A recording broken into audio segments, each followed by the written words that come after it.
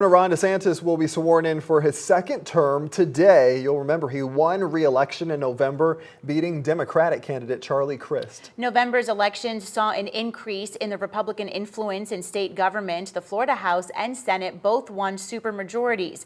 Our own Todd McDermott will be live in Tallahassee covering the inauguration in just a few hours. The ceremony is set to begin at noon, and we will carry it live right here on air and also online at WPBF.com.